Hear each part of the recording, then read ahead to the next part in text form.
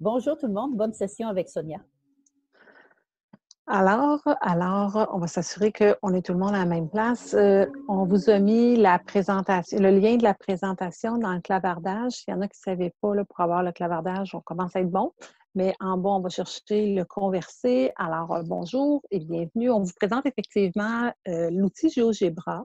On va partager principalement l'application, la partie géométrie, mais vous allez voir que GeoGebra, c'est vraiment un outil très, très bien euh, développé avec plusieurs choses, mais on se concentre vraiment pour la géométrie euh, pour aujourd'hui. Puis une fois qu'on s'est approprié une plateforme, on fera le lien avec le GeoGebra complet qu'on appelle classique, mais quand même, c'est vraiment l'aspect, fait que ça devient très complémentaire avec les autres formations qu'on a données. Alors, euh, ça, c'est euh, un petit peu ce qu'on va dire. Il y a Louise Roy qui est avec moi aujourd'hui. Louise travaille principalement en FGA, c'est qu'on voit que c'est un outil qui peut s'utiliser autant au primaire, au secondaire, en FGA. je ne l'ai jamais tester avec des petits du premier cycle. Fait que peut-être que s'il y en a qui ont cette chance-là, vous pourrez voir est-ce que c'est plus approprié ou pas. Euh, J'ai pas de problème avec le deuxième, troisième cycle du primaire, puis au secondaire, euh, il y a un grand, grand potentiel. Mais l'idée, c'est vraiment là, de, de substituer à des outils euh, pour faire de la géométrie. Alors, c'est ce qu'on vous présente aujourd'hui. La présentation, vous avez le lien raccourci qu'on vous a mis dans le clavardage, mais euh, toutes nos présentations sont toujours déposées sur le, site, sur le site du récit mst.qc.ca. Donc, c'est sûr que quand on ouvre la journée même de la présentation, on dit qu'on met notre présentation à la une, donc elle est une des premières à voir, mais ils sont classés par ordre de date. Alors, euh, il faut parfois, il y a un moteur de recherche, là, vous pourriez chercher géométrie euh, ou GeoGebra, puis euh, vous allez finalement la retrouver. Mais euh, c'est pour vous dire que les présentations restent là en permanence. Et il y a aussi moyen, à partir de ce site-là, on va déposer le lien pour le webinaire.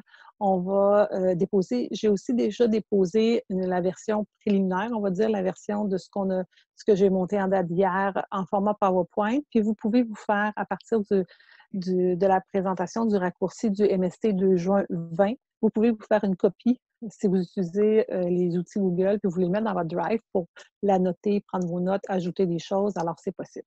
Alors, le plan de la rencontre, on va commencer, euh, bien sûr, à vous souhaiter le bienvenu. On va faire un petit peu euh, une tournée plus rapide de qui vous êtes et surtout pour exprimer les besoins, mais on sait qu'il y a déjà eu une première rencontre pour cibler, dans le fond, certains besoins. On va quand même voir pourquoi et comment on peut utiliser GeoGebra. on va se donner du temps à se mettre les mains sur les touches pour que vous puissiez faire l'expérimentation. En tout temps, surtout qu'on n'est pas nombreux, vous n'hésitez pas, si vous avez le goût, de nous poser des questions. Euh, on vous partagera aussi le document pour euh, faire vos observations dans le cadre de la COPS. Et euh, j'ai toujours un petit bonus, là, c'est ce que j'essayais avant la présentation, comment je pouvais vous le présenter, parce qu'avec le iPad, c'est pas simple. Alors, je vous ai présenté une petite application préparée pour vraiment la géométrie. Alors, on pourra voir avec Marie-Josée pour la suite avec la COPS. Alors, euh, on a une intention d'écoute, c'est la grille euh, que l'on a toujours utilisée. Alors, je l'ai mis en bas si vous voulez mettre le lien. Est-ce que Marie-Josée, tu veux euh, présenter l'intention d'écoute, la grille? oui, je suis désolée, il y a de la construction dans ma maison, donc c'est le bruit que vous entendez présentement. Euh, donc, j'ai mis le document, la grille d'analyse euh, qu'on va utiliser. Alors, euh, c'est ça. Donc, notre intention d'écoute, c'est vraiment d'aller vérifier si cet outil-là qu'on va, va vous présenter aujourd'hui, à quelle à quelle difficulté ça peut répondre. Donc, est-ce qu'on voit un potentiel pour les difficultés motrices, visuospatiales, langagères ou organisationnelles? Donc, je vous ai mis le tableau. Vous pouvez prendre des notes pendant, pendant la présentation. Comme ça, ben, euh, c'est ça. Il y a une partie du travail qui va être faite. Puis je vous rappelle qu'on a euh, planifié une rencontre euh, autour du 15 juin, si ma mémoire est bonne, pour mettre tout ça ensemble, d'essayer de, voir le potentiel de chacun, puis vers où on va aller en termes d'expérimentation pour la rentrée. Ça va? Merci Marie-Josée. Euh, si vous avez le goût, on vous invite à nous écrire dans le clavardage euh, votre nom finalement, euh, de où vous venez. Est-ce que vous êtes plus conseiller pédagogique, orthopédagogue? Et on vous a mis aussi un petit lien de formulaire. on veut tenir en compte qui suit nos formations et avoir, dans le fond, vos adresses courriels et à la fin, je vais vous présenter le site du campus Récit. Il y a des formations complètes, dont une qui a été préparée par Louis justement sur GeoGebra. Alors, euh, où vous pouvez aller euh, parfaire euh, vos connaissances et surtout aller un petit peu plus loin dans le fond pour, si vous avez le goût d'avoir des badges, donc je reviendrai à la fin, mais c'est, on aimerait ça avoir vos adresses courriels, donc par le formulaire, là, vous pouvez remplir un petit questionnaire assez rapide par rapport à ça. Alors, dans le clavardage, attendez un petit peu, c'est moi qu'il faut qu'il fasse défiler mon clavardage parce que je vois qu'il n'était pas ouvert. L'autre jour, j'avais eu un problème avec ça. Aujourd'hui, ça va marcher, mon affaire. Juste l'agrandir pour voir certaines choses que j'ai le temps de vous saluer officiellement. Attendez un petit peu, on va faire dérouler ça. J'aimerais ça l'agrandir. Je vais y arriver. Je vais agrandir puis agrandir. J'ai pris toute la page. Voilà. Alors, euh, bonjour Chantal. Il y a sûrement qu'on se revoit effectivement Rouen-Noranda. Puis ça, je trouve que c'est vraiment intéressant de voir que dans une formation euh, à distance comme ça, on voit des gens qui arrivent d'un peu partout, dont certains qui sont très loin. Euh, le récit est toujours ouvert à aller dans toutes les les régions euh, du Québec gratuitement pour aller donner des formations, mais quand même, on voit qu'en ce temps de COVID, on donne des formations à distance et ça permet à des gens qui n'ont pas toujours la chance d'avoir des, euh, formations parce que c'est pas demandé puis c'est beaucoup de déplacements, mais nos formations sont gratuites et on se déplace. Alors, euh, bonjour Nicole, milieu hospitalier à Montréal, d'autres personnes un petit peu partout, CSDM, alors plusieurs personnes de Montréal, CSHC, je ne suis pas sûre que je sais c'est quelle commission scolaire. Je suis désolée, je ne connais pas encore. Tu dit quoi? CH quoi? HC. Haute. Haute-Rivière? Non, HC. HC. Ah, c'est Chantal, c'est au canton. Au canton. Euh, Rivière-du-Nord.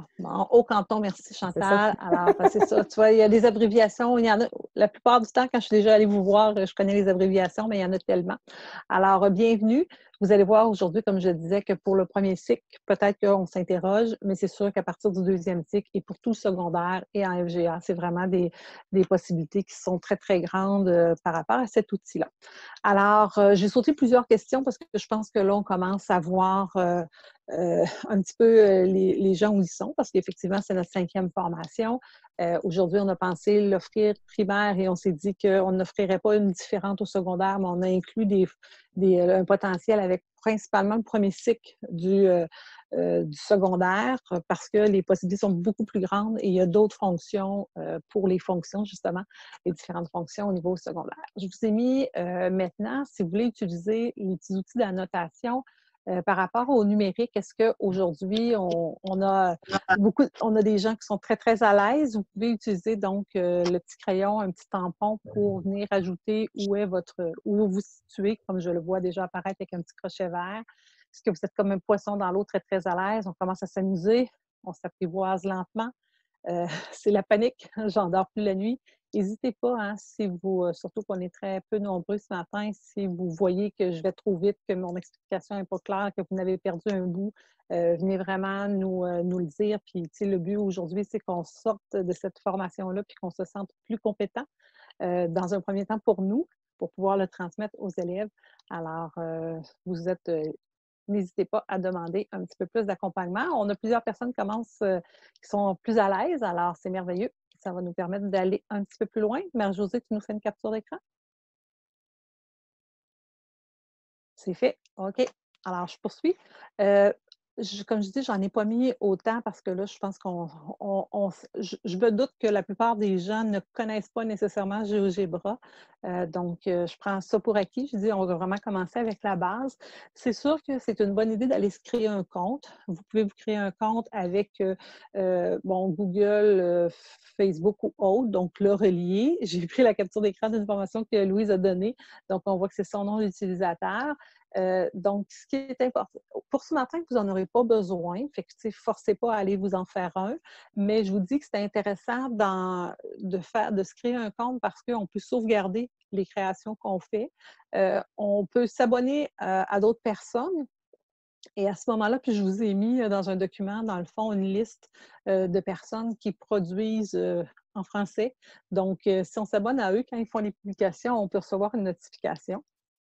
On peut conserver des activités qu'on aime et on peut monter plusieurs activités sous forme de livret. Je ne vous montrerai pas aujourd'hui comment faire un livret, mais on va se servir de livrets qui ont déjà été faits.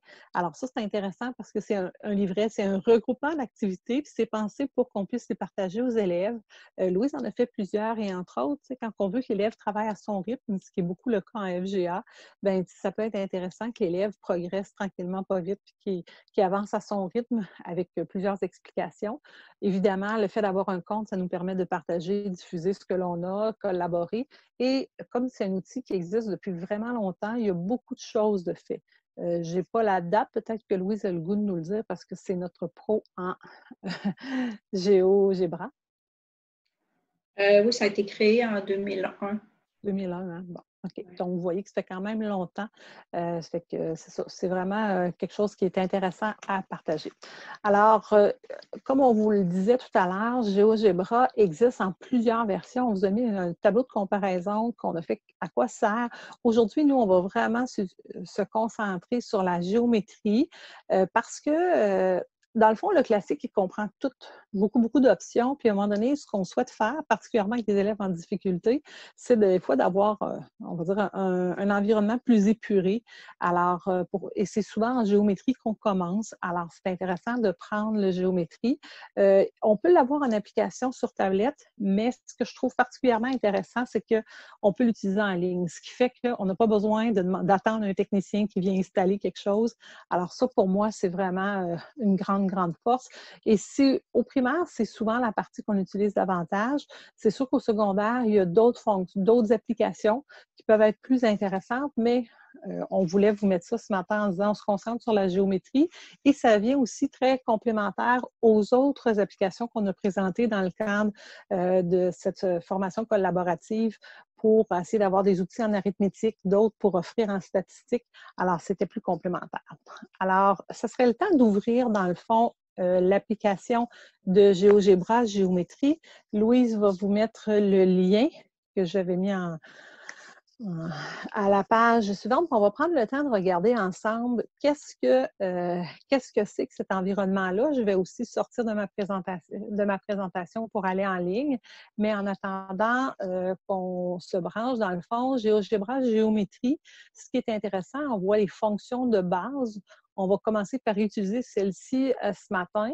Alors, euh, vraiment, de voir comment on peut euh, situer un point dans un plan cartésien, tracer un segment, tracer une droite, tracer un polygone, tracer un cercle. Alors, et en pesant sur le plus, on a, on a l'option d'avoir euh, plein d'autres possibilités. Puis là, ça revient à, plus on descend, plus on va avoir euh, des applications complètes et qui nous permettent de faire différentes choses. Mais ce que je veux prendre le temps de vous dire aussi, avant qu'on commence à jouer dans le fond avec le GeoGebra, euh, si vous êtes branché, vous allez voir que vous avez une lettre qui va apparaître, la lettre de votre nom de famille qui va apparaître ici. Alors, à droite de l'écran, et on a un engrenage qui va nous permettre de donner les paramètres. Alors, je vais sortir de cette application-là et je vais aller me brancher sur GeoGebra que je suppose d'avoir ici. Alors, vous voyez bien l'application de GeoGebra Géométrie. Merci, Louise. Super. Alors, euh, ici, euh, donc, ce qu'on a vu en capture d'écran tantôt, c'est euh, les fonctions basiques qui sont ici. Et ce que je veux prendre le temps de regarder avec vous, c'est vraiment la roue d'engrenage parce que c'est la première chose à regarder. Probablement que vous, vous n'avez même pas la grille parce que quand on arrive, justement, on a une page blanche. Alors, c'est pour ça qu'il faut commencer par là. Avec la roue d'engrenage, ça nous permet de paramétrer, dans le fond, ce qu'on a besoin. Et si on fait une activité puis qu'on la partage aux élèves, on peut paramétrer avant pour que l'élève, quand il ouvre, il ait le bon, affichage. Alors, première des choses intéressantes, on peut aller chercher, faire euh, apparaître les axes. On peut, avec la roulette de, euh, avec la souris, la roulette de la souris, on peut agrandir ou diminuer ce que l'on veut. Si on se passe à un endroit, on peut aussi le déplacer. Donc, si on voulait avoir seulement le premier cadran, c'est possible de le faire quand on travaille chez les petits. Là, euh, on a affiché les grilles, les axes, pardon, afficher les grilles, c'est ce que j'avais fait. Lorsqu'on affiche les grilles, on va voir qu'on a un petit menu déroulant. On peut avoir euh, le cadran principal qui fait qu'on a, a seulement euh, les, les, grands carrés, mais si on a le quadrillage complet pour travailler les nombres décimaux, on va voir que le quadrillage est plus précis. Alors, on peut vraiment aller chercher différentes façons, euh, différents paramètres. Euh, on ne les utilisera pas tous. Euh, polaire, isométrique, c'est beaucoup plus avancé, mais ça devient une façon de paramétrer. Puis évidemment, si on va dans propriété, il y a une grande possibilité de paramétrer, mais juste avec ce qu'on vient de voir dans la dernière minute, de voir qu'on peut afficher les, axes, la grille, quel niveau de grille on veut, c'est suffisant pour pouvoir se repérer et travailler là, euh, les concepts mathématiques qu'on a besoin. Alors, euh, ce que j'aurais le goût de vous, euh, lancer comme défi, c'est de prendre le temps de voir ici, et là, je vais vous laisser l'utiliser, mais si vous avez le goût dans la présentation, je reviens ici dans la présentation, Louise a fait un tutoriel à partir de ressources qu'on a trouvées sur justement le cartable fantastique que vous nous aviez partagé et elle a pris des activités qui étaient là, puis elle les a regroupées sous forme d'un livret. Alors, euh, euh, on pourra les faire, mais dans le fond, l'intention de l'expérimentation, c'est d'arriver à dire, vous pouvez essayer de mettre un, point, un segment, une droite, un polygone, un cercle, et on va commencer par faire l'expérimentation. Fait que c'est un peu euh, la fonction, on dit on touche à tout, mais si je mets mon point à un endroit, je vais voir apparaître point, je ne vais pas du cliquer. Je vais cliquer et mon point apparaît.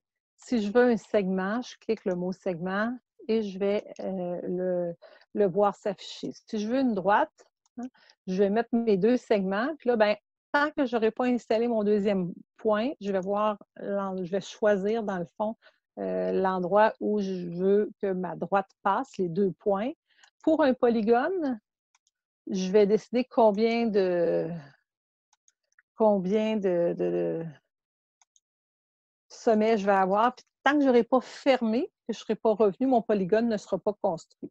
Alors, je vous laisse euh, peut-être une petite minute là, pour euh, essayer de, manipuler euh, la souris puis d'arriver à faire, à utiliser dans le fond les fonctions basiques avant qu'on voit un petit peu la suite. Et c'est le temps, si vous avez besoin de, des questions à poser, est-ce que ça fait telle chose ou pas, là, de l'expérimenter ou de venir nous poser la question. Pendant ce temps-là, je prends une petite gorgée d'eau. Je vais ajouter un point, si tu permets, Sonia quand on regarde en bas complètement, il y a une espèce de rond bleu avec une flèche blanche dans le milieu. Ça, c'est l'outil déplacé que vous voyez aussi en haut, euh, basique, déplacé, c'est la même chose les deux. Si vous voulez déplacer ce que vous venez de faire, il faut pas oublier de reprendre déplacer, parce que sinon, c'est l'outil que vous avez sélectionné avant qui est encore comme dans votre curseur. Donc, si vous voulez déplacer, il faut reprendre l'outil déplacer. vous pouvez tout déplacer les points que vous avez faits. Ce sont des points libres s'ils n'ont pas été faits sur des axes ou s'ils n'ont pas été faits sur une autre figure.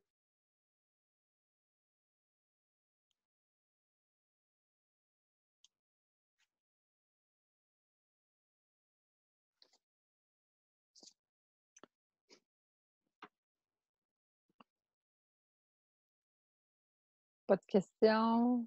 Les gens réussissent. On peut se servir d'un petit euh outil pouce en l'air euh, où on se dit euh, tout va bien. Il y a des gens qui se sont joués à nous. je veux juste vous dire que on a débuté à 9 h. Probablement que dans votre courriel, vous aviez 9h30.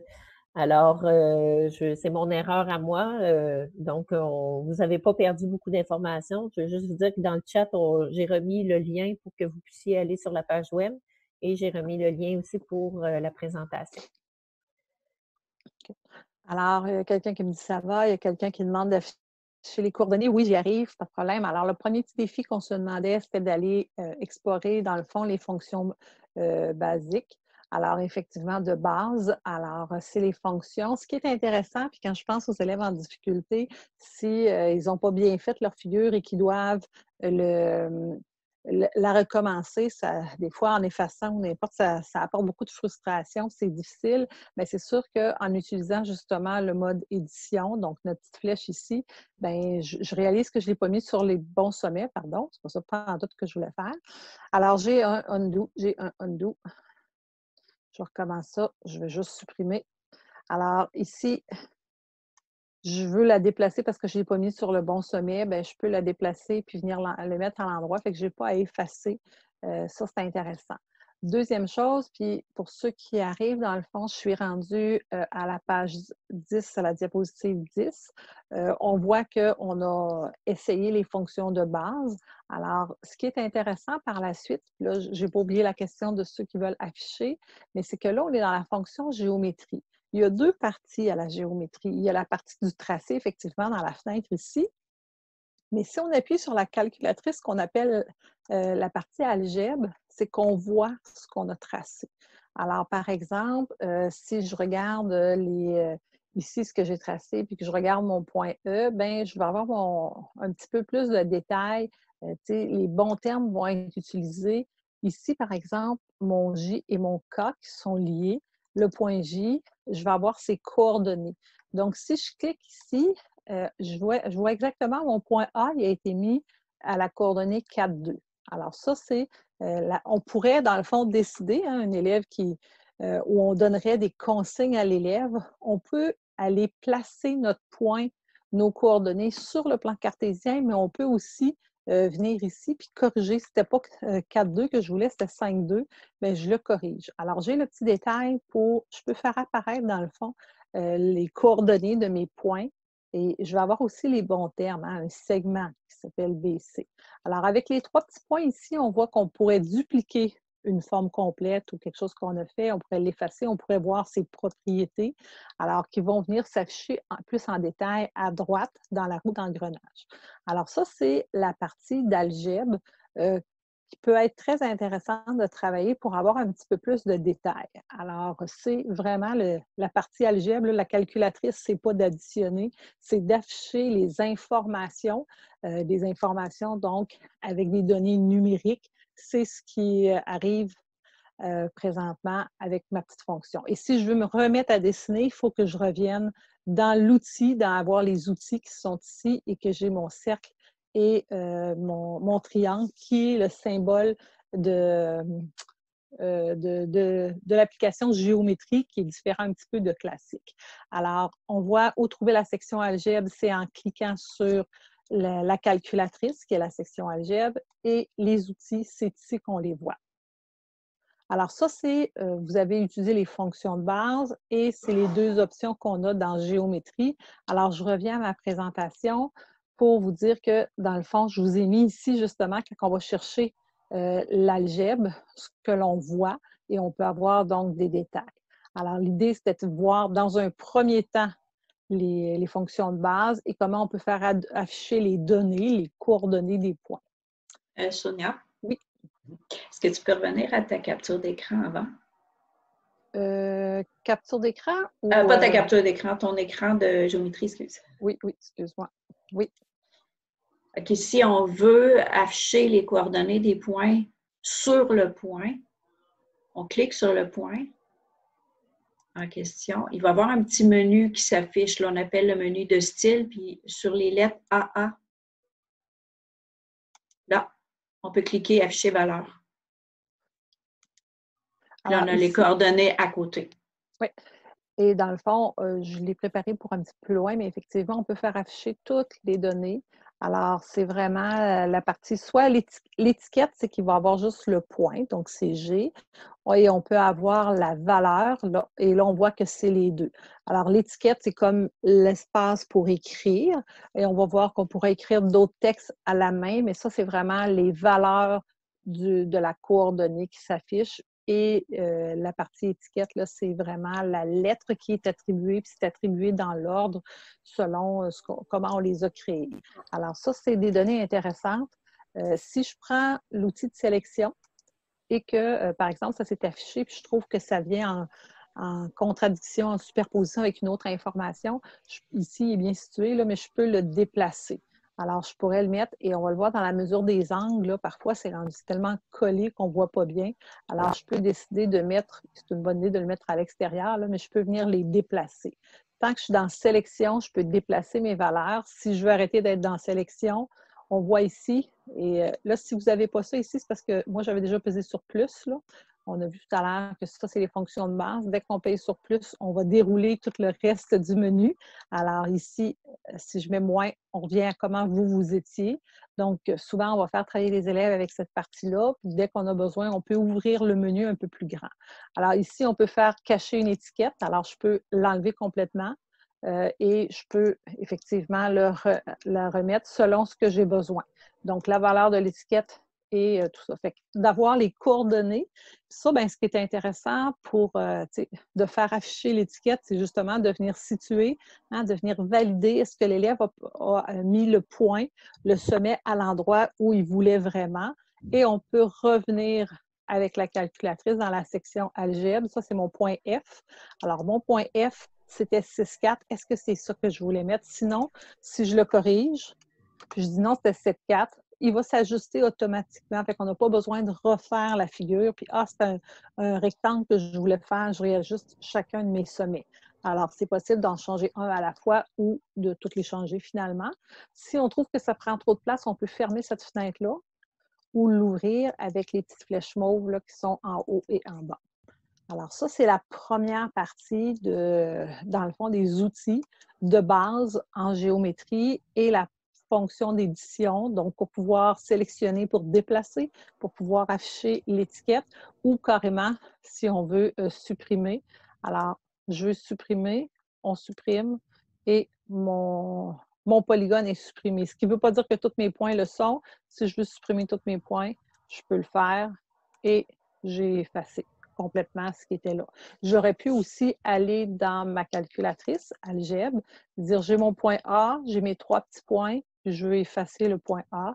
Donc, il y a plusieurs façons d'effacer, mais l'important, c'est de voir tout ce qu'on a fait. Puis on a un petit undo ici, si jamais on a fait une erreur on est allé trop vite. Option très intéressante pour nos élèves qui sont un peu rapides. Des fois, je peux ramener la dernière information que j'ai faite et on voit que je peux tout ramener. Je m'étais trompée il y a quand même une bonne mémoire. Donc, on a un undo puis un. Je dis tout le temps undo, puis l'autre, c'est quoi? Ridou. Ridou. Refaire. Refaire, c'est ça. Alors, ça, c'est intéressant.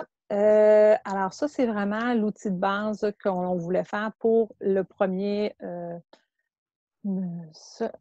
j'essaie de lire en même temps. Je n'ai pas, je n'ai pas affiché de valeur, seulement l'objet. Euh, je travaille sur mon iPad. Ah, là, c'est sûr que moi, je suis pas, euh, je l'utilise quasiment toujours avec l'ordinateur. Louis, es-tu habitué avec l'iPad? Est-ce que c'est aussi facile de mettre l'étiquette? Euh, oui, je viens de répondre. Je viens de répondre. Quand on, clique sur l'objet sur l'iPad, on a quand même un menu de style, mais dans le, menu de style, il y a juste les couleurs, la, la forme de l'objet la petite poubelle, mais au bout, il y a trois petits points. Quand on ouvre les trois petits points, là, on a le menu pour avoir euh, tout les, le style, en fait, de l'objet qu'on veut modifier. Puis quand on clique sur légende, là, on peut avoir nom, nom et valeur, valeur et légende. Alors, Donc, c'est, euh, il y a comme une, euh, une, étape, je dirais, de plus pour, pour, le menu de style du iPad vous comprenez pourquoi j'ai invité Louise. Hein? Louise est une référence au Québec pour GeoGebra. C'est notre traductrice officielle. Alors, euh, j'ai dit, moi, je, je l'ai fait beaucoup euh, à l'école, puis euh, avec du primaire, mais il y a des fonctions qu'à un moment donné, on, prend une ligne. Il n'y avait pas vraiment beaucoup de tablettes à ce moment-là. Ça fait que je n'est pas une option que j'avais beaucoup utilisée. Alors, ça, c'est dans le fond la première partie de ce qu'on voulait faire, première expérimentation on se permettrait d'aller dans une fonction un petit peu plus complexe. Euh, l'idée, ça va être de, oui, tracer un polygone. On va aller voir euh, les fonctions plus, comme je l'ai fait tout à l'heure avec le mode édition. Mais là, l'idée, ça va être d'aller un petit peu plus loin en géométrie. Euh, en plus de tracer un polygone, mais ça va être de choisir une transformation. On propose la translation, la rotation, la symétrie. On en voit d'autres, mais au primaire, c'est vraiment celle qu'on voit. Alors, euh, ça va donner quelque chose comme ceci. Ce qui est intéressant, c'est que, l'élève, c'est plus facile de ne pas oublier d'indiquer ses sommets. Euh, c'est un oubli que les enfants font souvent. il vient automatiquement dans mon image mettre mon sommet A', B', C' et la translation est indiquée. Alors là, j'ai fait une translation. Évidemment, vous pourrez euh, en choisir un. Alors, on va prendre le temps d'ouvrir notre, notre euh, logiciel de géométrie euh, et on peut, ça va me permettre de dire ici dans GeoGebra, je ne vous l'ai pas montré. Si vous n'êtes pas au primaire, ça fonctionne pareil, hein, mais c'est pour ça qu'il y a des fonctions plus loin. Mais dans les trois petites barres ici que je ne vous avais pas montré dans le menu, Euh, parce que je suis branchée, parce que j'ai un compte, hein, je me suis branchée, je vous ai dit ce matin, c'est peut-être pas nécessaire que tout le monde le, euh, le fasse pour ce matin, mais c'est une bonne idée parce que ça nous permet d'enregistrer, ça nous permet de partager. Fait si on prépare un travail, une tâche pour les élèves qu'on veut leur renvoyer, travailler à distance, ça va être euh, c'est une possibilité qui est là. Mais aussi, c'est que là, je vais vous dire, on pourrait tout effacer. Bien, la meilleure façon de le faire, c'est de prendre ici tout effacer. Évidemment, si on voulait sauvegarder, il nous le proposerait. Et je ne veux pas sauvegarder. Alors, je confirme que je voulais tout effacer. Je retrouve ma page blanche. Alors, euh, pour moi, la page blanche, ce n'est pas une option parce que ce que je veux faire, c'est d'avoir au moins mes, euh, ma grille. Alors, je viens la remettre en utilisant euh, mes, mon outil, ma roue d'engrenage. J'aime beaucoup travailler avec, hein, où je vois bien mon, mon plan cartésien avec ma valeur au centre et mes quatre cadrans. Alors, euh, et je replace ça et je vous rappelle ce que je disais, c'est on va se faire un polygone quelconque. Alors, je vais en placer un. Tant qu'on n'a pas fermé la forme, il ne considère pas que mon polygone est terminé. Euh, par la suite, ce qu'on veut faire, je vous ai dit, on va aller dans plus, si ce n'est pas ouvert. Là. tantôt, je vous ai montré, dans le fond, l'édition. Il y a beaucoup d'options pour lesquelles je n'aurai pas le temps de vous parler aujourd'hui, mais pour tracer des perpendiculaires, des parallèles, les médianes, ce qu'on a besoin en construction secondaire. On a ça, bon, mesurer des angles, on pourrait revenir, mais je veux aller plus bas pour les transformations.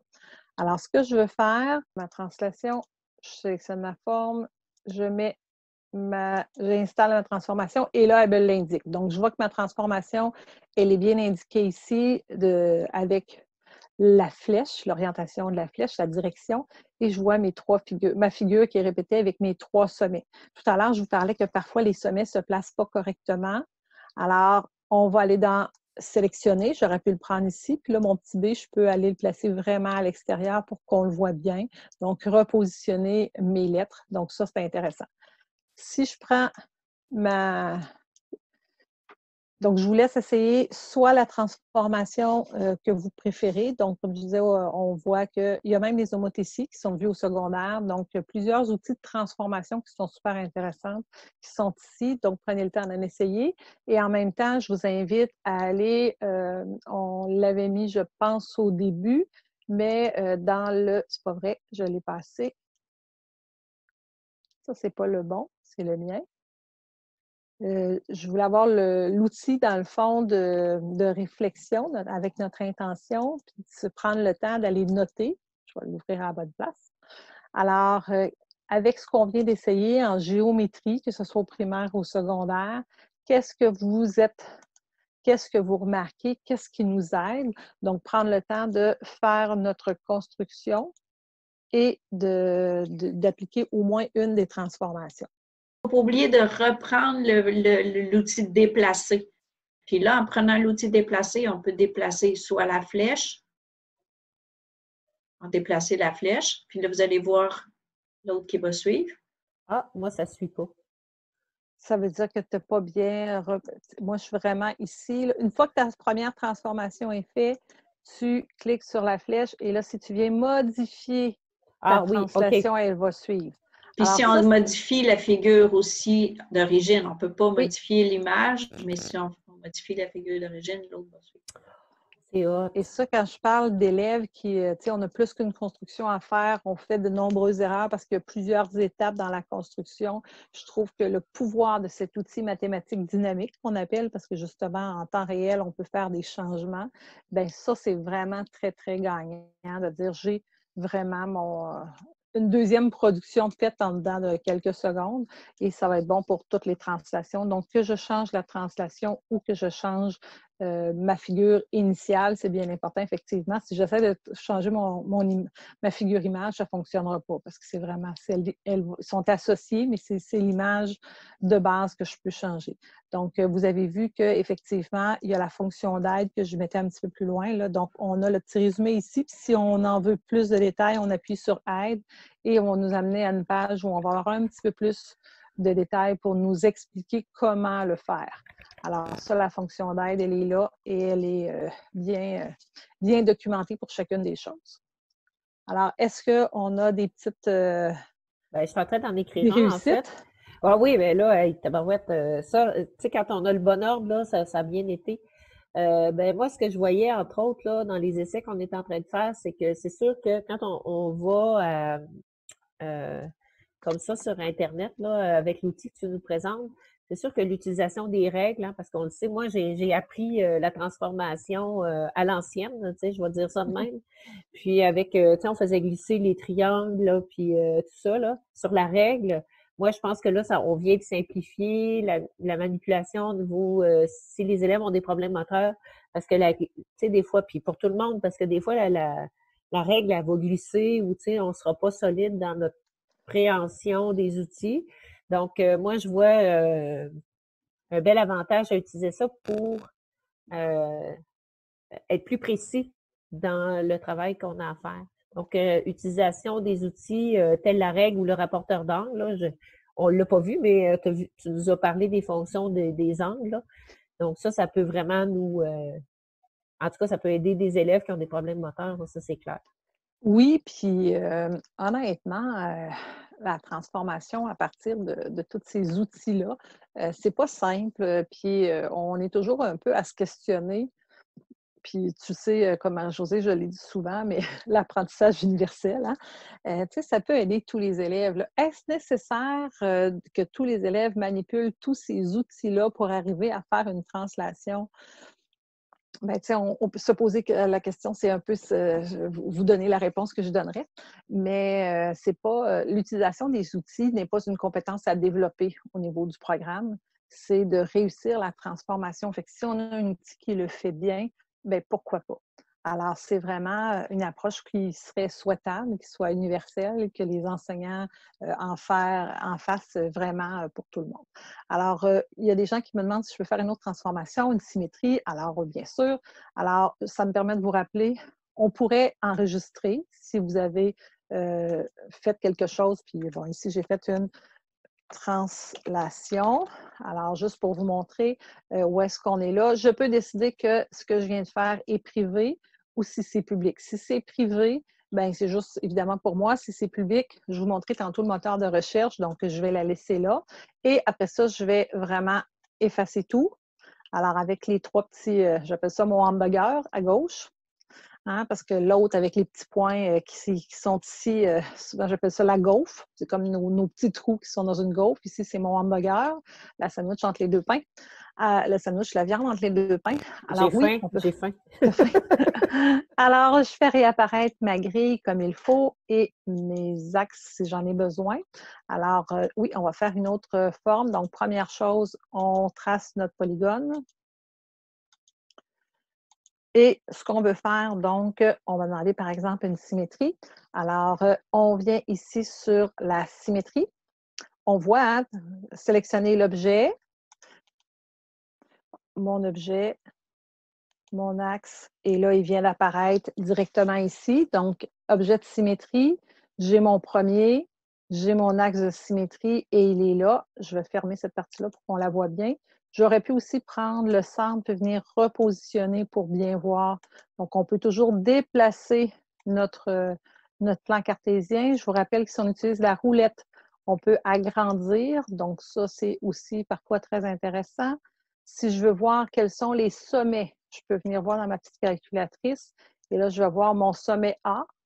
Segment A, sommet A est ici. Le point A, c'est quoi ses coordonnées? Le point B, le point C. Et si je viens voir par rapport à A', hein, alors A', je vais avoir, ici, c'est par rapport à l'axe des Y que je viens de faire une symétrie.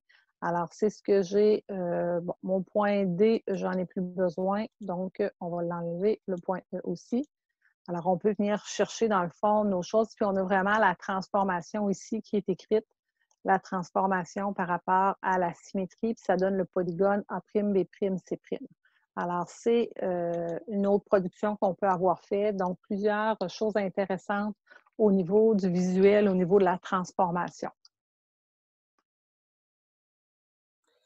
Pour euh, le secondaire, dis-moi, euh, quel genre de, d'opération de transformation. On voit, moi, je connais pas le programme secondaire, donc euh, je me souviens d'avoir fait des translations. ben là, ça, c'est mon secondaire il y a fort longtemps. Mais peut-être que c'est plus ça, là. Tu sais, tu parlais d'homothétie. Ben, oui. La transformation, dans le fond, au primaire, on se concentre beaucoup sur la translation et la symétrie, mais au niveau du secondaire, on ajoute les rotations, puis on ajoute les homothéties. Donc, au niveau des transformations géométriques, les fonctions sont là. Ce qui nous permet d'aller plus loin, c'est de tracer des fonctions. Donc, tu sais, les superfonctions euh, exponentielles ou les fonctions euh, en U, là, ça, au niveau du dessin des, différentes euh, possibilités, il y en a beaucoup. Mais au niveau des transformations, dans le fond, elles sont toutes là, à moins que Louise me corrige puis qu'il en manque. Mon souvenir de secondaire 3 est, là. Rotation, homothétie, c'est vraiment les choses qu'on allait un petit peu plus loin que les transformations ne sont pas si nombreuses que ça, à moins que quelqu'un nous dise euh, autre chose. Je pense que ça, on travaille avec les, mêmes formes, puis on va un petit peu plus loin, tout simplement avec ces transformations-là. Mon programme secondaire, il est loin, moi aussi. Je ne l'ai pas révisé avant cet atelier. Alors, c'est bon pour euh, les transformations. C'est vraiment un outil, je pense, effectivement, qui ne nous oblige pas à manipuler tout ce qu'on a. Alors, euh, on n'a pas besoin de manipuler les outils et ça, c'est très, très utile. Alors, ça, c'était dans le fond euh, un petit peu ici. Puis, comme je le disais, pour ceux qui sont arrivés un petit peu plus tard, Louise a fait sous forme de livret pour nous habileter à les faire puis à, montrer aux élèves comment travailler. Alors, le livret il est constitué, je vais en profiter pour l'ouvrir. Alors, le livret, c'est qu'une fois que quelqu'un a fait euh, une, comme là, moi, je viens de sauvegarder une activité. Si je la rendais publique, je pourrais euh, y arriver, puis tout le monde pourrait la voir. Alors, euh, un des outils qu'on voit ici, par exemple, la transformation au secondaire, on va avoir plusieurs transformations. Fait qu'on peut avoir, comme on le voit ici, une symétrie, puis après ça, c'est quoi que tu avais fait après, Louise? C'est-tu le déplacement ou c'est le, as une rotation? Ou tu as deux rotations, je ne suis pas certaine. Mais, euh, je pense qu'il y a les trois. La dame, en fait, est dans le tutoriel. Oui, dans le tutoriel de géométrie. De géométrie. C'est ça. Donc, ça, c'est le tutoriel qui nous montre point par point un petit peu tout ce qu'on vient de faire. On vient de faire un polygone, comment faire un, segment de droite, comment faire, tracer un point, etc. Ça fait que, dans le fond, le livret vient nous faire tout ce qui est du pas à pas. C'est sûr que les premiers pas sont ici, puis on nous montre à, à vraiment aller à la base, mais c'est un tutoriel qui va vous permettre de revoir ce qu'on vient de faire. Puis ça pourrait être un tutoriel qui serait présenté aux élèves pour montrer comment le faire aussi. Alors ça, c'est intéressant de voir que tout ne repose pas sur euh, l'enseignant qui doit faire les démonstrations. Il y a des outils qui sont faits, puis c'est possible de regrouper plusieurs activités sous forme d'un livret. C'est bon pour ça? J'en ferai un troisième. Euh, j'ai pris comme exemple, euh, peu importe le polygone. Dans le fond, mon intention, c'est d'aller vous montrer comment on travaille avec les angles, les mesures. Donc, les mesures étant la, la mesure, la longueur, par exemple, de différents segments, comment on peut les afficher. Fait que ce que Louis, tantôt, quelqu'un posait au niveau des étiquettes. Alors, c'est là que je prévoyais le montrer. Alors, faire la construction, puis euh, mesurer avec un outil, à la place d'utiliser un rapporteur d'angle, c'est vrai qu'au primaire, ce qu'on cherche souvent à savoir, entre autres au deuxième cycle, est-ce que c'est un angle aigu obtus, est-ce que c'est un angle droit? Euh, on n'utilise pas nécessairement le rapporteur d'angle, on attend au troisième cycle, mais euh, on voit que de faire afficher ces mesures-là, c'est très, très simple. Alors, on va prendre le temps d'aller euh, et d'agrandir euh, le format pour bien le voir. Ça, je trouve que c'est une belle force de ce qu'on est là. Je commence à avoir plusieurs euh, pages. Ma transformation est ici. Alors, si je prends le triangle que j'ai ici, qui est déjà tracé, puis que je voulais euh, ça va nous permettre de voir, je disais tantôt, on a vu les fonctions de base, le mode d'édition. Euh, on pourrait, les constructions, on n'en fait pas beaucoup de ce type-là, tracer des parallèles, puis comment les faire avec les outils. Ça, c'est plus des choses qui se font au secondaire. Mais au niveau des angles, on a vraiment des choses intéressantes qu'on fait au niveau du primaire. Alors, angle, on nous dit, hein, justement, on sélectionne un point, le sommet, le point. Alors, c'est important, si je prends mon point, mon sommet, mon point, on voit que mon angle vient d'apparaître sous forme de 90 degrés. Pour que j'aille l'angle, il faut que j'aille absolument, évidemment, c'est pas pourra, si je clique ici, il ne saura pas si c'est langue interne ou externe. Donc, c'est vraiment euh, de, définir dans l'ordre le premier, le sommet qu'on veut obtenir, le deuxième. Je vais faire la même chose avec un autre sommet. Donc, je veux le sommet A, je vais commencer à C, je vais faire A et je viens le terminer à B. On voit que mon chiffre, il apparaît pas très bien. Ah, je vais finir le dernier, puis après ça, je vais venir le corriger. Donc, je fais mon troisième angle. Je veux mon sommet B. Alors là, on voit que les chiffres sont écrits un petit peu n'importe comment, donc ça nous permet de revenir. Et ceux qui n'étaient pas là au début, on peut prendre l'outil sélection ici ou l'outil sélection là. Et là, je prends mon étiquette puis je viens la déplacer pour que ce soit bien lisible. Et je viens la mettre à l'endroit que je veux. Euh, dans nos paramètres, on peut décider si c'est langue externe ou, interne. Donc, ça, parfois, ça va aller mesurer langue euh, externe. Donc, ça fait partie des paramètres donc, que l'on peut configurer à partir de la petite roue. Donc, euh, moi, j'étais toujours dans le bon ordre, là, mais ça arrive qu'on est toujours dans l'ordre inverse. On pourrait avoir un code avec les élèves, puis on fait vraiment lien avec le deuxième cycle, dire mets-moi tes angles aigus, par exemple, en bleu. Mets-moi tes angles droits euh, en, tes angles droits en vert, puis mets-moi tes angles obtus. Fait que le type d'angle identifié avec la couleur, ça, c'est quelque chose qui peut être intéressant à travailler avec les élèves. Donc, et là, on a un repère où l'enfant n'a pas besoin de se fier à la valeur. Et on pourrait, tu sais, ce que j'utilisais beaucoup, c'est euh, une feuille, le, coin d'une feuille pour dire c'est mon 90 degrés. Évidemment, on n'ira pas mettre un angle de 88-89 pour qu'il soit juste, si on ne veut pas qu'il se fie aux chiffres. Mais il peut venir tracer ici, dans le fond, l'information avec les angles et euh, on voit dans le fond toutes les propriétés, là, si on voulait faire plusieurs, euh, plusieurs mesures. Intéressant aussi de voir qu'on peut faire le dupliquer. Donc, ça peut nous permettre de dupliquer, euh, là j'ai dupliqué mon angle, alors on voit ici, mais je peux dupliquer dans le fond différentes informations. Ça fait partie de nos, nos, nos, outils. Mais ce que je trouve particulièrement intéressant, donc on vient de faire, je vais essayer de le remettre sur mon sommet. Voilà. Euh, j'ai parlé aussi que ça, c'était la mesure des angles, mais un autre fait intéressant, c'est de travailler la distance. La distance, parce qu'entre deux points, donc on voit apparaître en bas, en deux points, je prends un segment d'un polygone. Alors, si je viens prendre ce segment-là, là, il apparaît, puis encore là, il est euh, tout au centre, fait que je vais, je vais faire apparaître mes trois distances et je vais aller sélectionner. Alors, ma distance ici est 5, ici c'est 3,5 et ici c'est pas celui-là. J'ai changé plusieurs choses. Hein. C'est celui qui est en bleu. Et là, bon, mais c'est pas intéressant s'il n'y a pas d'unité à côté. Alors, je vais vous montrer. Il y a une place où on peut écrire du texte, du texte, du texte. Le texte est ici en bas. Alors, je peux prendre le temps d'ajouter mon texte et je viens cliquer à côté de mon 3. Puis moi, ce que je veux, c'est ajouter que ce sont des centimètres.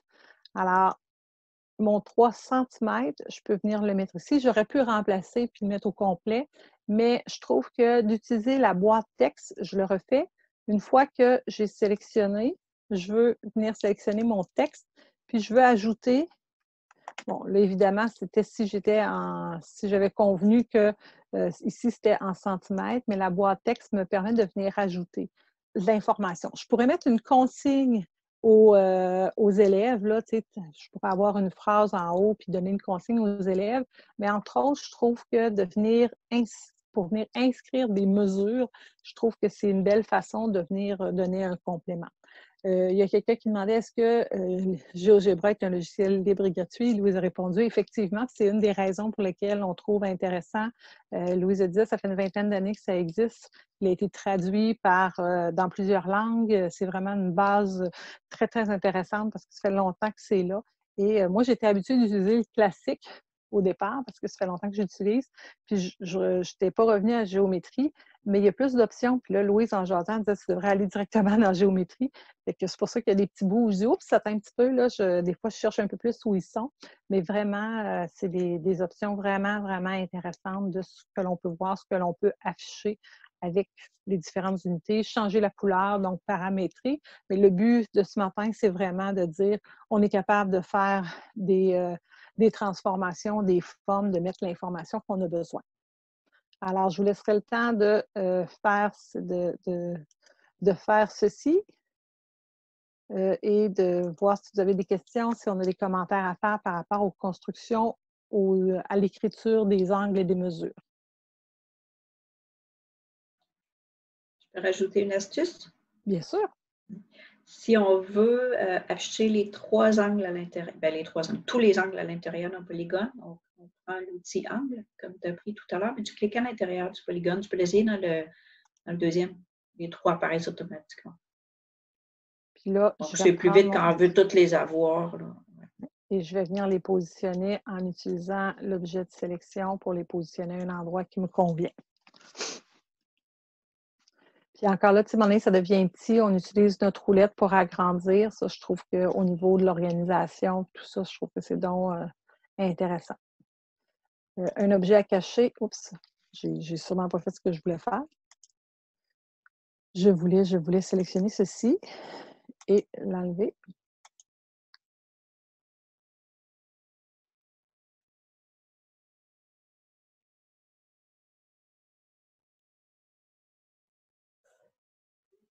Euh, moi, j'aimerais euh, savoir comment travailler les angles externes.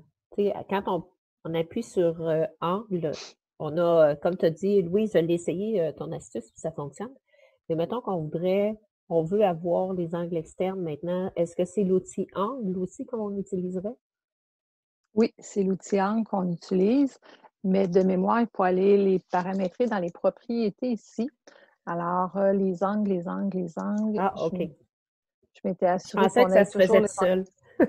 Euh, non, pas tout seul, parce que il faudrait, il faut y indiquer qu'on passe par, par l'extérieur. Fait que non, non, c'est pas, pas tout seul. Euh, attends un petit peu, il faut juste que je le retrouve. Si je vais dans Angle ici, puis je vais dans Aide. Louise, euh, veux-tu nous l'expliquer en direct ou tu me laisses montrer la fonction d'aide? Ben, en fait, pour l'angle externe, là, ça dépend ce que tu entends par angle externe. tu vas, avoir l'angle juste tout l'autre côté, là, le, c'est même pas le supplémentaire, le 360 moins celui-là. C'est que tu fais juste cliquer tes sommets dans l'ordre inverse. Ou tu peux, avec l'outil angle, ouais.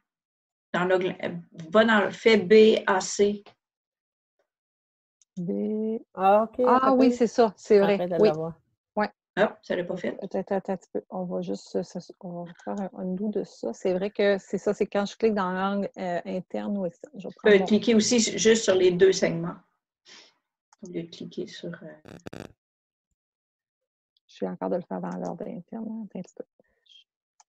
Mais peut-être, euh, des fois aussi, ça dépend dans les, dans les paramètres, j'essaie de voir. Oui. paramètres des angles.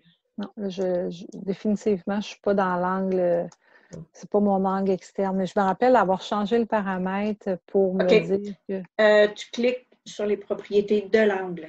Clique sur un angle. Ben, sur un angle déjà fait, que tu as déjà construit. Sélectionne-le. Je pense que je pense. Non, tu n'es pas, pas, avec l'outil, c'est ça. Puis les trois petits points au bout.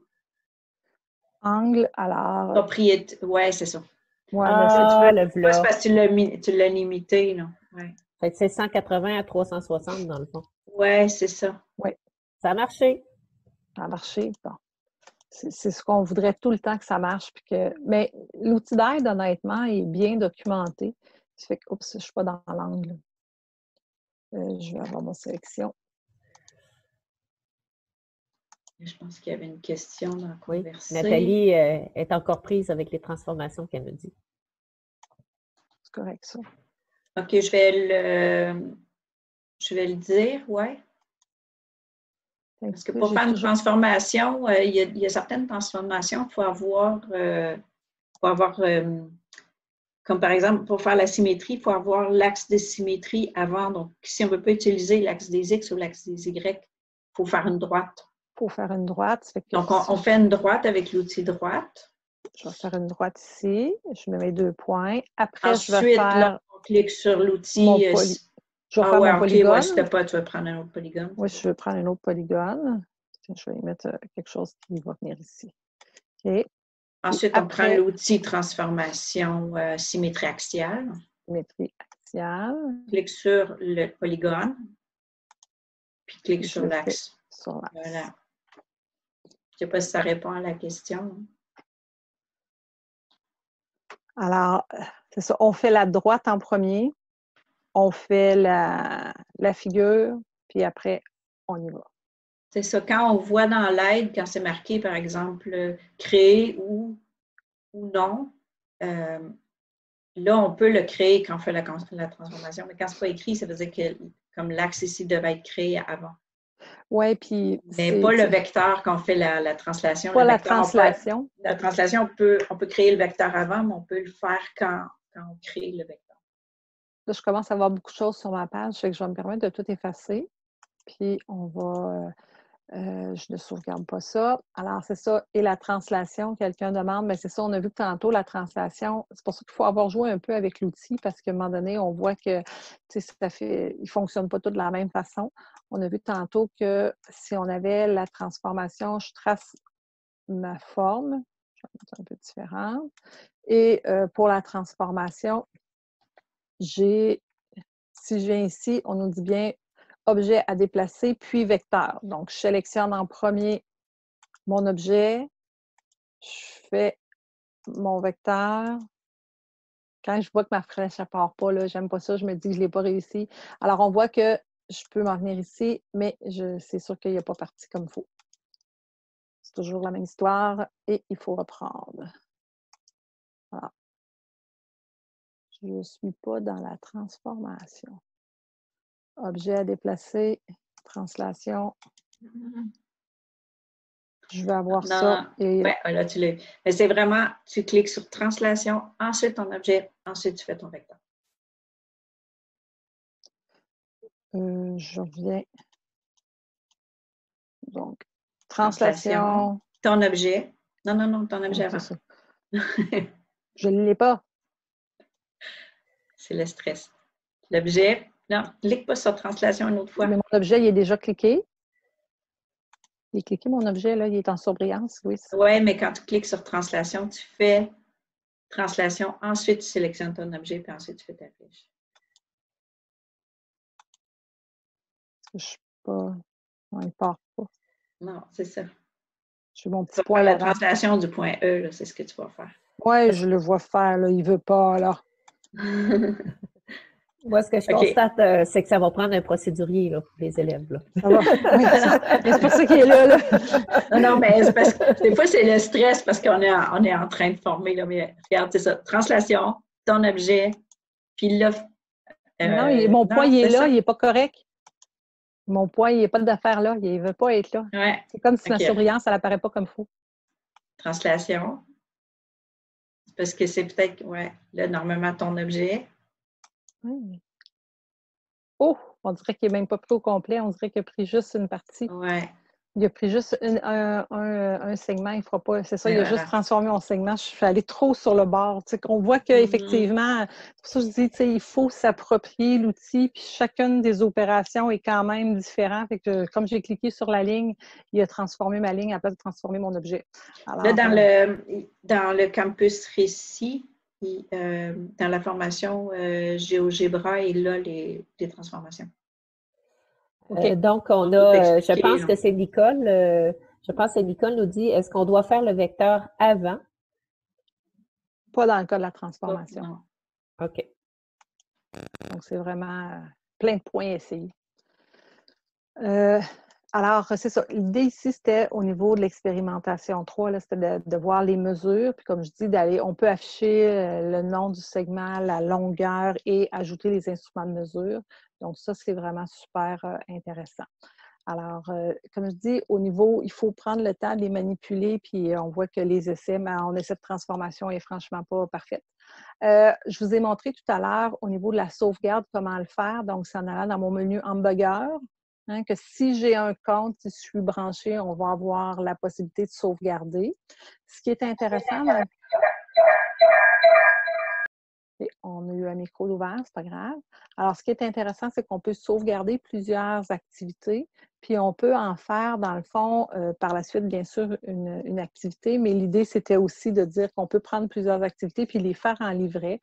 Donc, éventuellement, peut-être que ça, ça pourrait, c'est une des formations que Louise a données la semaine passée, mais euh, c'est des choses qui sont reprises. Donc, effectivement, on, va vous dire, on manipule.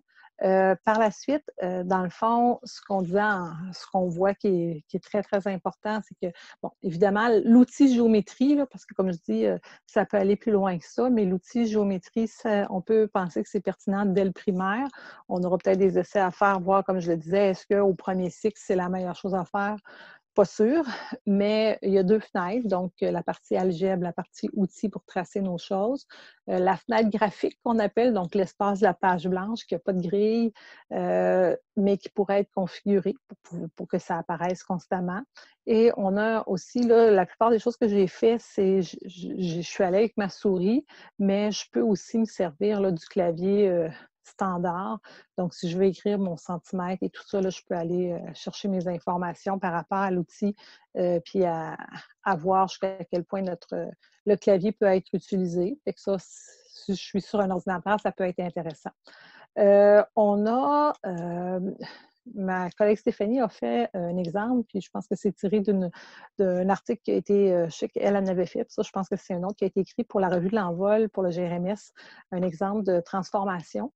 Euh, on travaille là-dedans, il y, a plusieurs transformations, mais les frises et dallages qu'on fait beaucoup en géométrie, ça peut aller chercher ça, donc d'aller chercher un motif, de faire créer l'élève, par exemple avec des consignes, euh, d'aller chercher l'axe de symétrie, faire des répétitions. On voit que la couleur peut prendre euh, une dimension ludique intéressante. Donc, le lien entre les mathématiques et les arts, il y a quelque chose là à faire.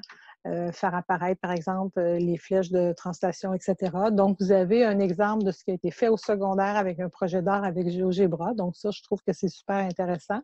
Je vous ai mis donc euh, les liens pour nous amener vers là.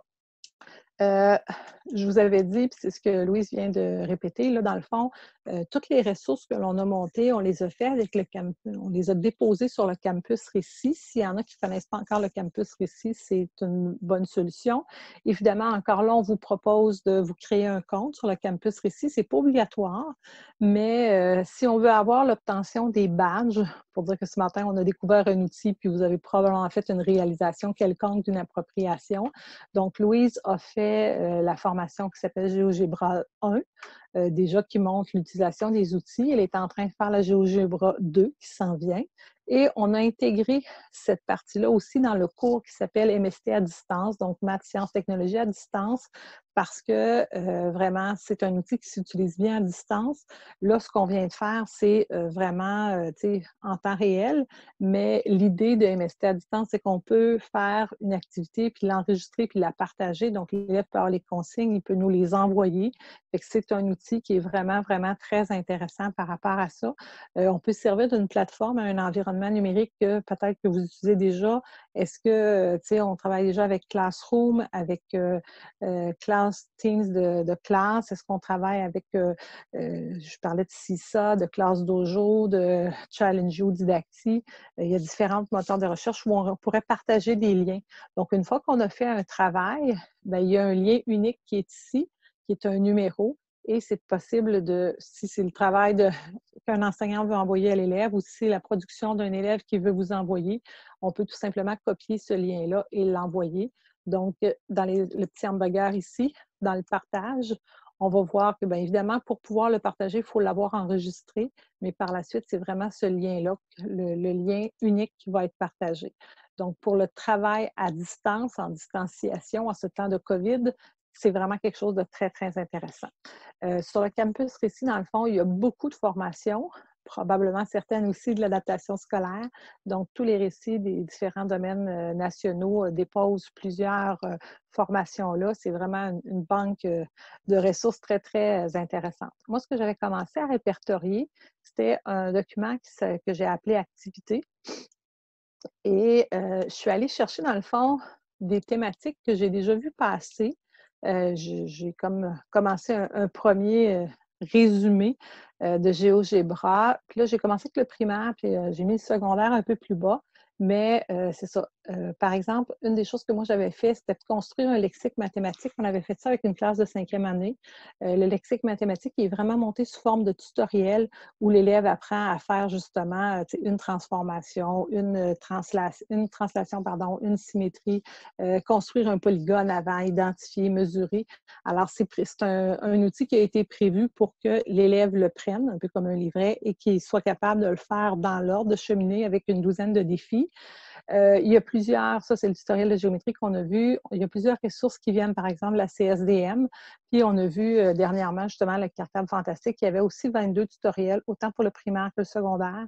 Donc, eux autres, c'est une liste de 22 euh, défis à faire dans l'ordre. Euh, encore là, ça commence pas en première année, mais ça va quand même plus loin au niveau secondaire. Fait que ça, c'est intéressant. Je vous ai mis quelques livrets que j'ai trouvés qui sont très bien faits, entre autres, bien évidemment, ceux de Louise, mais aussi la CS MV, donc de Marie-Victorin, qui a fait plusieurs euh, livrets euh, sur les fractions, sur les nombres entiers. Il y a des choses intéressantes. Euh, j'ai trouvé des liens. Souvent, les, premiers, les premières activités, j'en ai vu beaucoup où c'est une simulation. L'élève euh, voit, par exemple, tu mets trois côtés, ça fait un triangle, tu mets quatre côtés, ça fait un carré, cinq côtés, ça fait un pentagone, etc. Donc, il y a plusieurs qui utilisent des, petites animations de simulation pour montrer, faire découvrir, euh, faire expérimenter, ou ce n'est pas l'élève qui est nécessairement en construction. Donc, il y a un aspect souvent dans les livrets, dans les activités, que c'est une présentation pour éveiller la curiosité, faire apprendre, démontrer des principes. Fait que ça, on en a beaucoup. Il y en a en géométrie, mais j'en ai trouvé aussi avec des exemples. Euh, si je prends le gabarit, vous allez voir que c'est un peu le principe de mémoire. Le gabarit, c'est ça. Ici, un gabarit, on parlait de ça la, la, dernière fois. Il y en a qui cherchaient pour dire comment je pourrais faire pour avoir ça, toutes mes lignes, mes colonnes. Bien, ici, le premier facteur, on voit combien de nombres on a. Fait que celui-là, il a été fait pour Pardon, c'est ma souris j'ai pris à place de prendre mon petit point ici. Mais je pourrais avoir juste deux nombres, trois nombres, quatre nombres, cinq nombres. Combien j'ai pour le second facteur?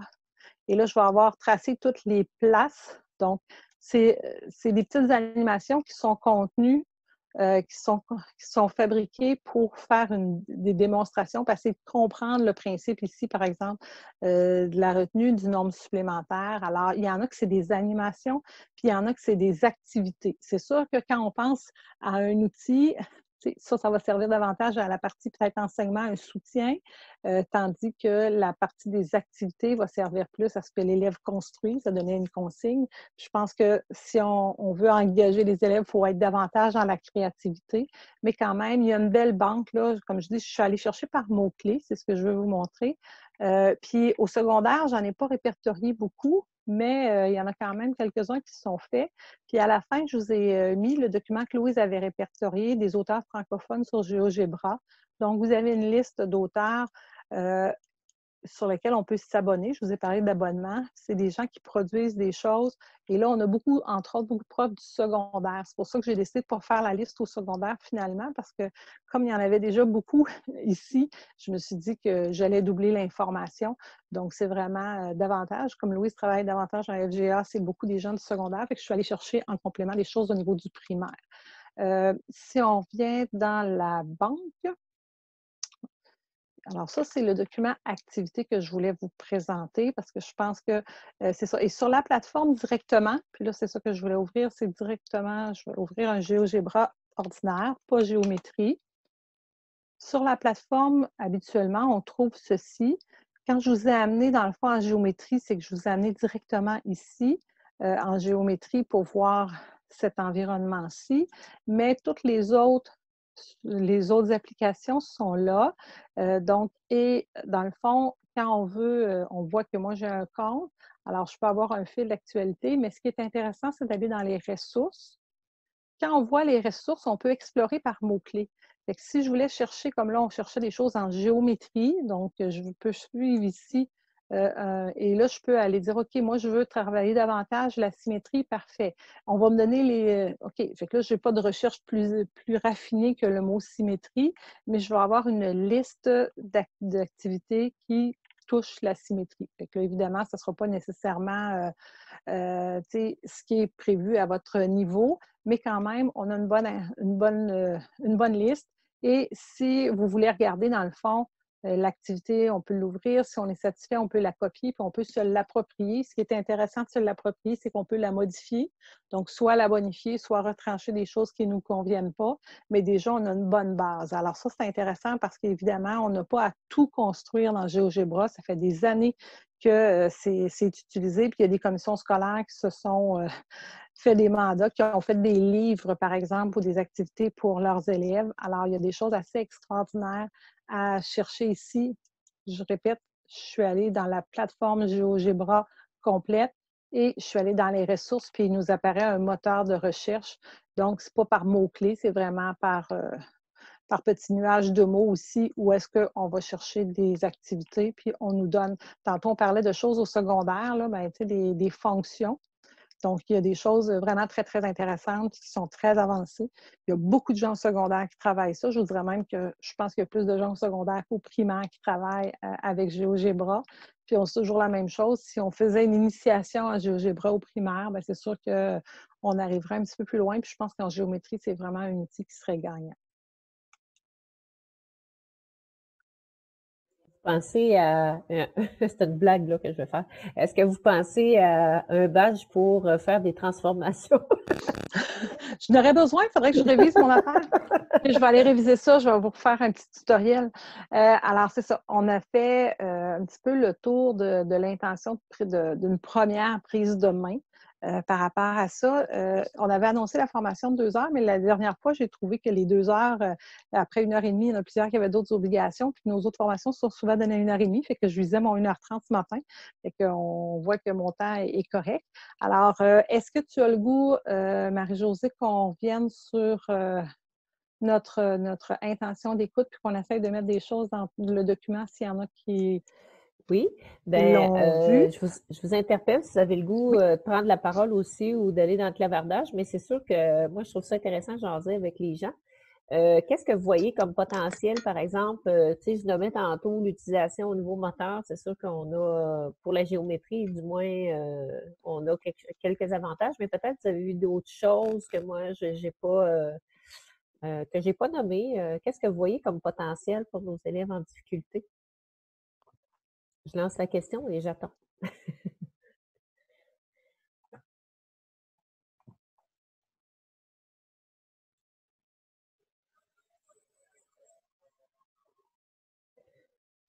Euh, si je vais avec, euh, par exemple, visuo-spatial, est-ce que vous voyez une capacité, euh, quelque chose qui pourrait être intéressant? merci, je dois quitter. Merci, Marie-Josée. Moi, ce que je voyais, dites-moi, je veux discuter avec vous, là, dans le fond. Euh, pour le visuo-spatial, moi, je, voyais que ça permettait de visualiser les manipulations aussi. Donc, euh, la feuille est placée comme faut, puis on n'a pas besoin, euh, sais, on, peut voir les transformations, les manipulations se faire en temps réel aussi. Ça permet de vérifier aussi si on est OK hein, dans, notre, dans notre opération. Euh, puis j'ai marqué, ben, le plan cartésien, ben, on peut jouer avec la, au niveau visuo-spatial. Euh, je pense aussi des élèves qui ont des difficultés visuelles aussi, donc on peut agrandir peut-être le plan cartésien. Euh, oui, merci Alligator Anonyme qui met des, puces à mes éléments. pour le langagier, moi, ce que j'avais remarqué, en tout cas, c'est peut-être le vocabulaire associé à une image. Tu sais, quand tu parlais de segment, là, tu sais, ben, on a le, le, c'est représenté avec ça polygone, tu sais, avais un, picto qui allait avec les, représentations. Euh, c'est sûr que ça fait partie peut-être des concepts mathématiques. Là, certains, euh, tu sais, je pense à des peut-être des problèmes d'accès lexical, peut-être d'avoir le, le, picto, ça peut en tout cas les soutenir là-dedans. Puis euh, organisationnel, moi, ce que je trouvais, c'est qu'en cas d'erreur, c'est sûr que ça fait pas partie des critères, mais quand même pour l'élève, pour l'estime de l'élève, le document va pouvoir rester propre. Donc, on peut supprimer facilement euh, des erreurs, puis euh, c'est pas plus grave que ça. Il y a toujours undo, redo, qui sont toujours nos, fonctions là, qui sont. Euh, je ne sais pas si vous pensez, là, je l'ai mis dans l'onglet primaire, mais peut-être que pour les gens qui agissent plus au secondaire, vous voyez d'autres possibilités. moi, ça s'est sorti de ma tête sans analyse, sans avoir fait d'autres manipulations. moi, je vous invite à aller compléter mes idées, là, mais c'est pas parce que c'est mon idée qui est bonne. Là. Vous pouvez proposer autre chose. Est-ce qu'il y avait d'autres euh, d'autres commentaires peut-être? Oui, je, suis à l'écoute présentement. Moi, je pense en tout cas que ce qu'on travaille au primaire, ça va se ressembler au niveau du contenu. On va aller plus loin, mais au niveau de la capacité, puis la, capacité de cet outil-là de, de nous amener un petit peu plus loin, puis d'avoir les mêmes avantages finalement, ça, c'est super intéressant. Puis effectivement, le document qui reste propre, mais qu'on peut agrandir, euh, qu'on peut structurer, qu'on peut ajouter des consignes avec l'onglet texte, ça, je trouve que c'est vraiment quelque chose qui est super intéressant. Puis c'est ce qui me frappait dans, dans l'activité qu'on faisait ce matin, c'est vraiment que je trouvais qu'on touchait un petit peu à tout. Euh, c'est sûr qu'au niveau moteur, c'est un, gros plus, là, mais on pourra toujours y réfléchir. Je vais passer à la petite présentation suivante, parce que j'avais convenu, comme je disais, il y avait eu des demandes pour qu'on fasse des présentations sur des applications. Puis je disais que faire euh, une heure et demie de bombardement de différentes applications, je ne trouvais pas ça intéressant. Par contre, je me suis donné le défi de présenter à chaque fois une, deux applications. Et celle-là, euh, je la trouve super intéressante, probablement plus au primaire qu'au secondaire, mais euh, c'est l'application de dessin magique. Puis là, je réalisais que présenter avec un iPad puis VIA, ça ne marchait pas bien. Mais il y a un site en ligne qui permet de faire la même chose. Alors, c'est l'idée de l'application de dessin magique qui s'appelle O. C'est vraiment, euh, c'est vraiment d'arriver à je vais à la bonne place. Elle se fait sur tablette, puis là, je disais, ils ont mis en plus en ligne un site, donc je suis contente parce que ça me permet de mieux la présenter. c'est en lien avec la géométrie, donc l'utilisation de, de, figures géométriques. je, trouve, je trouve que c'est un, outil qui nous qui fait beaucoup appel à la créativité. Alors, euh, je pense que c'est mon intention de vous la présenter, c'est qu'on peut mettre des mots justement dans le langage mathématique, faire utiliser les termes mathématiques aux élèves de façon intéressante. Donc, euh, vous voyez toujours l'écran, hein? même si je change d'application, tout ça, ça va. Alors, il faut comprendre que la petite ligne euh, parle ici, c'est la ligne d'horizon que je pourrais décider de mettre plus haute ou plus basse. Ici, j'ai une banque de matériel de toutes sortes de formes et c'est de dire, je prends une forme, je la déplace à un endroit, en haut ou en bas de l'horizon.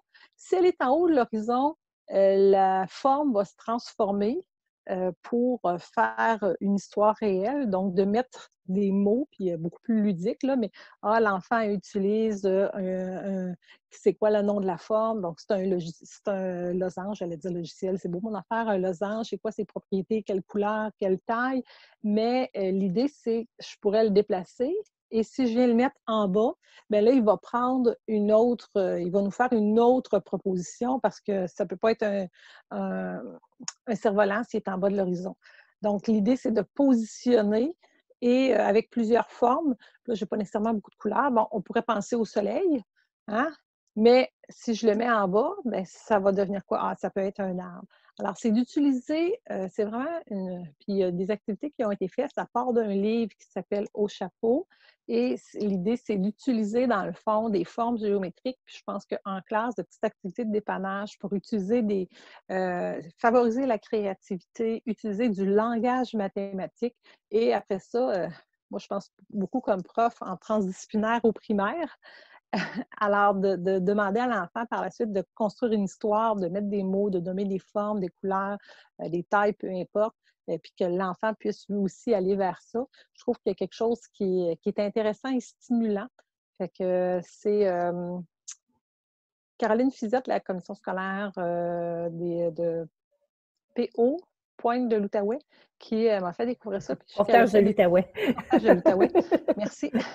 Alors, euh, je trouvais que c'était vraiment très intéressant. Puis c'est ça, ça vient d'un livre qui s'appelle Au chapeau, puis qui ont finalement, donc, il y a toutes sortes d'activités qui peuvent être faites à partir, mais ils ont vraiment créé euh, une application gratuite qu'ils utilisent autant sur iPad que sur livre, qui ouvre, je trouve, un monde d'imagination qui, qui est vraiment intéressante et ludique. je trouve qu'il fait un lien aussi avec euh, ce qu'on ce qu'on pense au niveau des formes géométriques, puis de pratiquer l'utilisation du langage euh, de notre euh, des formes géométriques. Bien, en fait, moi, ce que je vois beaucoup là-dedans, c'est la représentation euh, qu'on peut s'en faire. Donc, la représentation que l'élève, puis de voir les formes géométriques ailleurs qu'en mathématiques. Donc, elles existent dans la vraie vie, hein, ces formes géométriques-là. Donc, ça crée, ça devient signifiant, je trouve, euh, ce que tu nous proposes là, comme l'application. Là, honnêtement, là, euh, j'ai beaucoup aimé GeoGebra, mais celle-là, j'ai un petit coup de cœur, je te dirais. c'est vraiment euh, comme tu dis, ça éveille l'imagination, mais une fois qu'on a travaillé avec l'application, après, c'est dire, ben, on fait une chasse aux formes euh, peut-être dans notre euh, dans notre classe ou dans, dans la maison. Là, présentement, ça va être peut-être dans la maison ou peut-être hybride, hein, on ne le sait pas. Donc, d'être capable de dire, ben là, le soleil, OK, ça c'est rond, mais y a-t-il autre chose circulaire dans la maison là, qui pourrait s'apparenter à ça. Puis c'est le fun, la ligne d'horizon. Ça, ça fait aussi au niveau du visuo-spatial, de, comment on le place dans l'espace aussi, ces formes-là. C'est vraiment une belle application. Sonia, je suis vraiment épatée. C'est ça. Je trouve que en plus, le fait qu'elle soit en application ou en ligne, je trouve que c'est intéressant. Mais comme je dis, je n'ai pas découvert tout le potentiel pédagogique, mais je trouve que c'est vraiment quelque chose qui a du potentiel pour, euh, puis comme je dis, en pensant à, comme prof qui, a toujours une préoccupation de faire un lien entre les maths et les arts. C'est beaucoup l'approche Matisse Team, mais de, puis d'aller vers l'écriture, d'aller vers raconter le concret, comme tu dis. Je trouve que c'est ça, s'il y a quelque chose là à aller chercher, puis euh, peut-être qu'on bâtira quelque chose tous ensemble par rapport à ça. Mais voilà.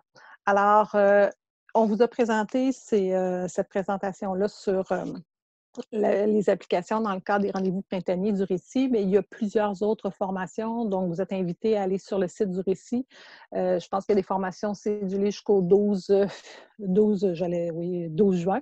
Alors, il y a différentes, euh, possibilités. Euh, les six formations qu'on vous a données, c'est en collaboration avec le service euh, de l'adaptation scolaire dans un but de développer, dans le fond, euh, au niveau mathématique. On vous rappelle que euh, d'ici vendredi, donc d'ici vendredi après-midi, pendant les trois dernières semaines, dans le fond, l'équipe du Récit MST, donc Louise, moi et les autres personnes, il y a toujours au moins une personne disponible les après-midi de 1h30 à 3h pour ceux qui auraient le goût de dire euh, je retravaille mes transformations. Alors, euh, si vous avez le goût d'aller un petit peu plus loin sur quelque chose qu'on vous a présenté, vous avez des questions, vous n'hésitez pas. Vous venez nous rejoindre euh, sur ce site que Louise doit vous mettre dans le chat sûrement. Peux-tu nous ajouter ça, Louise, pour le lien? Et ben, c'est ça, il est toujours possible aussi, je l'ai, je peux prendre le temps de le copier. Alors, je veux vous remercier de votre participation, de votre présence. Il y a beaucoup de, il y a beaucoup de contenu. Vous voyez qu'on a à peine abordé dans le fond tout ce qui peut se faire, mais au moins on voit un petit peu le potentiel. Et il y a toujours moyen de nous écrire à l'équipe euh, on a aussi maintenant une page Facebook, on est plus présent sur Twitter, on a mis des vidéos sur YouTube. Alors, euh, vous avez, euh, je pense, l'embarras du choix pour voir comment nous contacter, comment aller un petit peu plus loin. Puis peut-être qu'à un moment donné, on se dira, ben oui, on va, on va ensemble bâtir quelques activités, puis se partager ces activités-là dans un but qu'on on construise tout le monde ensemble, puis aller un petit peu plus loin, puis toujours dans un but qu'on n'ait pas à tout bâtir. Mais je pense que cet outil-là est, intéressant de dire spontanément, trace-moi une forme, puis on en discute, puis de voir les propriétés. C'est un outil qui peut s'utiliser de façon spontanée. alors, il y, a, y a place à la création, puis à la construction. Alors, ce serait tout pour ma part. Je te laisse le petit mot de la fin, Marie-Josée. Oui, euh, je veux vous dire aussi que les euh, vidéos de la semaine dernière sont maintenant disponibles euh, sur le site, je vais commencer par le mien, par le récit, le récit adaptation scolaire dans offre de formation. Donc, les, les, les webinaires de la semaine passée sont disponibles. Et habituellement, c'est le lendemain, là, on est pas mal rapide hein, sur la diffusion. Donc, pour celle d'aujourd'hui, pour celles qui ont, les gens qui ont manqué peut-être le début, euh, ben, ça sera disponible dès euh, d'ici vendredi, assurément. Donc, d'aller voir sur le site MST aussi. Donc, euh, de, vous allez avoir accès aux deux places. Vous avez accès au webinaire. Oui, je sais, c'est un peu de ma faute le, début. j'ai fait un copier-coller, puis j'ai oublié de changer le 30 minutes de différence. C'est mon erreur. Alors, je vous remercie vraiment beaucoup. Donc, vous avez, Sonia, tu as mis le, site où est-ce qu'on peut, euh, le lien pour vous rejoindre si on a des questions. Oui, c'est ça. Puis je euh, m'aperçois que je l'avais mis en privé avant, ça fait que c'était pas. Euh, c'était pas utile. Exactement, c'était pas, pas, pas, mon intention. Alors voilà, maintenant. Alors, je te, remercie beaucoup, Sonia, puis je remercie Louise aussi euh, de ce bel accompagnement que vous nous avez fait euh, cet après-midi, ce matin. Mon Dieu, j'ai hâte que la journée finisse. Ce matin, cet après-midi, on va parler des tableurs. Alors, euh, merci beaucoup aux personnes qui sont restées jusqu'à la fin. Alors, je vous souhaite une belle journée, tout le monde. Puis, ben, un dernier webinaire cet après-midi. on vous attend. Si vous êtes inscrit, si vous avez le lien, ben, nous, on va être là. merci beaucoup.